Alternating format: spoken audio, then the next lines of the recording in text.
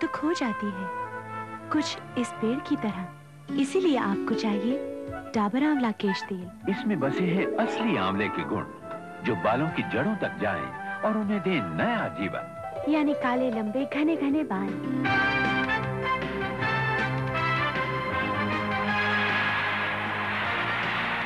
डाबर आंवला केश तेल असली पोषण बालों को दे नया जीवन